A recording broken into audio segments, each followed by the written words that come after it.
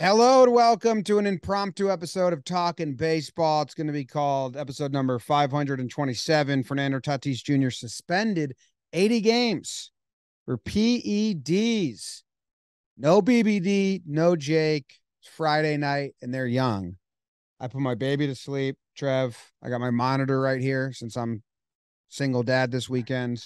I love that. I, I got about five of those things just sitting around my house right now. Nice. How are you doing on a Friday? Hit with some big news. I was in the car with my kids and Olivia, and uh, you sent the text, and then bam, my phone exploded with all my friends talking baseball. Uh, it's, I said it on my Twitter. This is like a sit down moment for me. Like, what? Yeah. Because of who he is. This isn't just like, this isn't just a good player getting tested positive and being out. It's Fernando Tatis Jr., who essentially MLB is marketed as the face of the game, James. Yeah, he's the most marketable young star. That's why I tweeted out this sucks. And man, I'm always kind of confused how I didn't give a lot of context, but everyone was like, thought I meant it sucks they suspended. And I was like, no, it sucks that the most marketable young star the game has come across in a while, like and think he was on the cover of the show. He was everywhere. They locked him up for a big contract. I've been talking about how fun like Fernando Mania has been. And now it's I don't know what it's going to become in 80 games, but this isn't the first part of like the bad PR saga, I guess. You know, he, he he's it's been the motorcycle accident, and then according to him, accidents, and then Yeah. how they handled it. Yeah, like that's what he said when he got in an accident. He, they said Which one? he said which one are you referring to? So like multiple accidents, and then and then all like we've been joking because they said he was a slow healer, and it would, it would suck if he took this or whatever, but to heal faster. But I think this steroid, I don't know how to pronounce it. It ends in bull and starts with the kloss or something like that. I think you nailed it, Clostebol. I no, I'm not a scientist. I was reading up on it. It's one of the ones that has had like false positives, but also not really. Like it, it's still, it's not like a lot, but it ha- they say it has happened. But they also say you need to be taking it for a while for it to hit. Again, yeah, we don't know anything about this. And that was my first initial reaction was like, well, there's like Turinabol. That was like the Chris Colabello thing. And that happened to quite a few guys where they even took it as far in the UFC, I believe, to just get rid of that because guys were just getting popped too much for it. And like there was something suspicious. I don't know if like this is the case. He's saying he took some medication for ringworm. Now, when I was a player, James, and you Mhm. had problems, you went to the team doctor, or if you're not in the if the team doctor is not available, you go to a doctor that's adjacent to the team. And you get your prescriptions filled and you get all of that stuff through the team. You want to know why you do that? So dumb shit like this doesn't happen. If what he's saying is true. He said It's he had. so it's so avoidable. A, He said he had a- a ringworm. medication. that's that's kind of. I mean, I don't know anything, but so many people that get popped off say, "I didn't know I was taking taking something else." Like the number of people, and clearly they're still testing. It's part of the thing now. The number of people that get popped is very small. This is the third one this year. There was two last year. I was just at the Wikipedia that had the full list. I refreshed the page, and people are fucking with the Wikipedia so much that now it, it literally just says players who have been tested positive. It just says Fernando Tatis Jr. Like they, he's the only one because some people are messing with it, which it was a pretty good list going at one point. It's I don't know how to put it, man. It's so disappointing and like I want to give him the benefit of the doubt. But like I, I kind of like the more and more I've sat with it now. It's been an hour since the news broke. We're talking about this. It just it's it's even almost worse if it's no, it's not worse. That's, I don't want to say that. It's bad if it's negligence. It's just as bad. A little bit. That's what that's that's the thing. Like, you know, we're 10 years into this now. What was the first suspension officially? It was 2005. So more than 10 years in this, but I know testing was different then.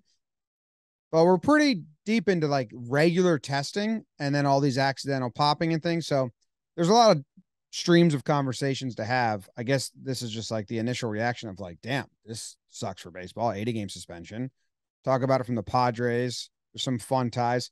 But this is the biggest name to get popped since Cano. And Cano was kind of fading. Yeah, this, is, this is like almost on the same level as a Ryan Braun, except yeah, maybe well, a little less shit was going on in this instance. Like there was a lot of stuff going on with Bronny. And but he, Braun was MVP, but also Braun was of the time where like names were popping up nonstop. It was like the witch hunt time where like it was like boom, boom, boom, boom, boom, boom. Since it's been kind of just like three a year, Cano was a big one, but then I think in people's heads, it was like, well, he's a fading superstar Sure. and he's trying to regain youth, even though he might have been taking it the whole time. We don't know. But I mean, this is a 23 year old kid, two, four I always on, like, want on the rise. I don't know if we've had this. You, you wonder like there's so many things that go through our mind. I think it's okay to have these thoughts and talk about them. Like how long has this been happening? Has this been something that he's been doing and and skirting the testing program for years or is this really he took the wrong medication? Like I don't know. I don't think any of us know and probably James will never know. That's Yeah. kind of the problem here. Is we'll just never know. It's it's it's clouded and I guess it doesn't really matter though because he can't play this year. He's going to miss the beginning of next year. He obviously knew about it. There isn't a, so what happens is you get told, the PA gets told, you get told first. And then you decide if you want to appeal. Okay? He had I guess what he said is he initially appealed and then and then decided not to. Yeah, so you can't. That's you can't not appeal, but then claim innocence. Yes. You know what at I'm least saying? give it at least give it a chance. yes. Judge just hit number 46 on the air. Did he you really? know. Yeah. Baseball needs. Is this going to be like the steroid era and and the home run chase Pump- all wrapped pump, into one pump season? the home run chase. Pump the Let's home run chase. go. There's uh, when did you think the team knew? They the team is saying they found out today, and like so maybe he dropped his appeal today So because do, they're yeah, there's supposed to be that window where you have the opportunity to appeal it. So if you actually win your appeal, it's not like where accusation is just as bad as a conviction type thing. So, you know, I'm without being absolutely certain, I'm 90% certain this dude was playing the rehab games knowing this was coming down eventually. I mean, maybe he thought he had a chance in the appeal, then finally he just like, oh, it's not going to work. So here it is, and I better start serving it now. It's do you uh, think the Voit situation changes if they know? What do you think changes about the trades if they know? They Well, I probably think they gotta- go after. I think they gotta be Soto. thank they gotta thank the Lord they made those trades Yeah, but but the whole thing was like they thought Tatis would come back, which would and play center a little bit. kind of. Or yeah, now they would. Now I wonder if they would. Probably not Hosmer because they wanted the money eight, but Voit maybe is still on the team as DH spot. Yeah, and look, I mean, if you're a Padres fan, though, it's terrible. I'm sorry. I feel really bad for you, but you still have a really good team that's been doing it without him the entire year. You know, the upgrades still help your team. You still have a very good shot at the postseason. Is it deflating as all hell? Yeah, man. Yeah, man. And and you know what? He's never going to be viewed the same either. That's what I was going to ask. So we've had some steroid guys, right, recently that are currently playing, served their suspension and are playing. They're not of the caliber of markability of Tatis nor the young star and the swagger and all that. But Frankie Montas, the Yankees just traded for, he got popped. He did 80 games. Tim Beckham, uh, he got 80 games. Michael Pineda got 60 games. Uh, and then who's Ramon Laureano, Pedro Severino got him this year, but Laureano's back. And I feel like none of them are tainted, but I don't think they're big enough. Yeah, exactly. Ta like tainted for sure, but not like he was on a Hall of Fame. I mean, granted, it's only been a couple years. I mean, what is how many games does this dude even play? Hey, not that many, but even like numbers aside, because I don't think, I mean, people are just going to kind of like, well, who knows? He was the face, they were trying to make him the face of baseball. The guy's numbers put him on a Hall of Fame trajectory. James, he's had a 969, a 937, and then a 975 OPS. How many games has he played? Over a thousand games. Really? Yeah, he's he's had excuse me, a thousand games. He's had eleven hundred plate appearances, two hundred seventy three games. So I was like, I was like really? Yeah, that's crazy. I don't know why I said that. In 2019, he came up, played 84 games, almost played all the games in 2020. He played 59 out of 60 games in 2020. He played 130 games last year. Led the league in homers last year. Led the league in homers last year. I mean, this guy, so, the guy's numbers. Is that about, is that is that in question? Probably. How because this is be? this is this is a a muscle building. This is the same thing that Dee Gordon got popped for. I just I just don't I just don't know how to process this, dude. The only thing that I've learned hanging around MLB players like you and others is that okay, so let me backtrack to I I said in a tweet like sucks that he cheated. And I getting lit up on some or I saw a couple of responses and quote tweets be like, blah, cheated. Okay, dude. And I'm like, I I I can I say that because that's how I know players say it. Like play like you and other people get get mad. Like well, because we're all we're all competing for the same thing. You're competing for a World Series title. You're competing and also on a more personal, a spot in the big leagues. Um a roster spot, if you will. And like if you're if you're a guy that is as natural and doing things the right way, of course it pisses you off, man. In any walk of life, I don't care who you are, what you do. If somebody else is doing something better than you and you know they've taken something or done something to get ahead, like that's that pisses you off. And this is at an extreme I, level because of the money and the notoriety and all that stuff. I think that like there's a perception that because back in when Giambi was shooting himself up on the bus, and that it, and it was just a known thing in those years, there's a perception amongst fans that I had that like all, all players, even if they didn't do it, it's kind of like if you don't smoke pot in high school, but your friends do, but you don't care. You're just like, yeah, they do, you know, like, but I don't personally. Like, it's just my choice. But I was surprised to talk to to, to players, especially like about A Rod, where they're like, no, dude, he's the biggest fucking cheater in the game. I don't like him. And I was like, oh shit. Okay, so there's a contingent of players that aren't just like wasn't for me but but everyone did it. There's yeah, players I mean, that legit like get fired up about it. There, I don't think there's any player that's like, ah, oh, fuck it, who cares? Nobody feels that way. It just, it's, it's personal. You take it personally, and like I, I, I went on Instagram Live and I said this, like, I, I think there's plenty of time to repair his image, possibly. Yeah. I mean, he's got so much ahead of him. There's plenty. I mean, every, America loves an apology and a, and a redemption story. It's like our it's favorite. Just that, like, country he yeah man the fact that they were pushing him so much to grab the youth and everyone everyone wants to be Tatis and and look like him and play like him and it's now it's like I have to tell Teddy about him and tell him like what's what what's going on and this is why he's not going to be in the postseason. This is why you know like uh, he's at an age now where he's asking me these questions. So it's like the role model thing he's gonna have to work really, really hard to get that back. Like if he can. Yeah. And then the PR game, he got his money, but wild. What does this do for um the Padres? I mean, they still got a good squad without him.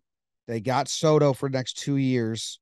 Does he lose his star? Like when he finally returns, like is it Machado's team, Soto's team? Like, is it going to be very hard for this to become Tatis's team? Because it was kind of that way last year when he was healthy and in 2020. I think that here's a statement that my friend Anthony Swarzak used to tell me all the time. Performance trumps all. If this dude comes back and he's got a 965 OPS and he's crushing balls and he's helping the team win, it gets a little bit easier to forgive him and you start to you know say all right maybe it was just a mistake maybe this is who he really is so if he comes back and bangs dude it's just the way it is. People are going to forget about it. Other players, other cities, not going to forget about it. Yeah. You're going to get booed one. everywhere. In San Diego, I think it's, I I play with dudes that are, are steroid dudes. Everyone knows my relationship with Braun. Like that took us a while to get over, but eventually, you know, like I can I consider him one of my best friends right now. Um, but it's it takes time, dude. It takes time. No matter, even if he comes out and crushes it, like in San Diego, sure, they'll forgive him. And his teammates will too, because you got to. That's just part of the game. But I think around baseball, it's going to be it might be tough to get back on that level he was at. I want to ask a question that's like a half joke, maybe 90% joke. It's kind of like a text message with your buddies thing, which we can't really do on this show anymore because it's a lot of people listen now and then they spin it, but I still it's trolly. Robinson Cano busted twice. Padres pick him up. He's there for like a week. Oh no. Tatis is recovering. Dang, that I have- didn't even. I didn't even. that have been the awry, like the awry move? The one conversation the Padres like, wish we didn't bring Cano around. the worst mistake we made. Oh my gosh. People are already saying that the White Sox won the trade, all this stuff. I don't know. As far as Padres, the like actual team, sure you'd like to have this dude back, but I don't think they uh, you the way they'll approach this in the clubhouse is fuck it. He hasn't been here all year. Like that's the exact way they'll approach it. We just got an upgrade, two upgrades, three upgrades. Like the boys are here. We're good enough to do it. Let's go do it. Like so they'll they'll have a mini rally around this. Definitely going to be some weird vibes because they're going to have to answer questions, which sucks for them. That's another thing. Hey, Tatis Jr., you're making your fucking teammates answer these questions, bro. You're making me and Jimmy on a Friday night come here talking about this. So you're letting a lot of people down, man. That is that is like the other thing is don't don't make don't make your teammates have to answer questions, and now it's like a whole thing. It's a whole thing. And weren't him and Machado kind of lipping back and forth last year? Yeah, but then I, I think I even did a breakdown. It was it was more it was Machado being a fiery leader, Like, like, like, like, pick it up. like pick it up, like get like like stop sulking. Like it was that vibe. Um, it was the third. It was a coach that they had a real problem with, and Machado was kind of given tough love. to go back to your point, like the pecking order of the Padres, like if Tatis was at 1A with Machado, he's not there anymore. Like it's Machado, probably Soto, probably Joe Musgrove, probably Blake. Like he's moving down the pecking order as guys that can stand up in a room and command it and like make decisions and be that influence. Like he really is gonna have to earn that back. Initially, it's gonna be like, hey, like Kayate, basically. What's that mean? Quiet. Or like shut up. I knew that. I knew that. You knew that. Silencio. Yeah. I'm Italian. We just go basta, basta. It's gonna be that way. And man, like again, I hope it was negligence because it makes it a little bit more palatable for me, but also that's really dumb and like you should never take anything that's not from that's why that's why there's a clause. The Players Association bargained for this. They supply supplements. They like you get everything through the team because they don't want this to happen. I just I just have to think that because so few guys get popped out of how many people get tested, like we're talking what 300 guys get tested, minor leaguers, major leaguers, like way more than that, I guess. Is all the no, minor there's leagues? seven there's 750 people in the big leagues at any given time. Okay, not a math guy, but um Or more than that because they've upped the rosters. I'm sorry. yeah, whatever. So let's say a thousand guys, including like guys that come up say right down. around a thousand guys. Yes. What's 40 times 30? twelve hundred? Were you really going to bust out the calculator for that? Not a math guy, Trev. 1200. So we're saying three guys a year out of 1200. That's 0.0025%. So it's tough to be like, yup, another one just slipped through the cracks. It it would happen more. You know, if it was a false positive or or negligence, like I don't know, it's not it's not happening that much. I'm about to clostebol your brain for your on your math side. I don't know, clostebol. Isn't that what the steroids called? Oh, clostebol. Yeah, I could I could use that. The problem is I've given up. Like, could I have done 30 times 40 in my head? Yes. But I've completely like white flag to math. I go, I go in that situation. I go three times four is twelve, and there's two move zeros. the, move there. the yeah move That's the, move it. it. I would. I've just given up. Like I'll punch in ra- basic arithmetic into my calculator and I'll be like, dude, I know that. but you want to make sure. I'll do like 17 plus nine, and then I'll be like, do it, and I'm like, six. dude, I know that.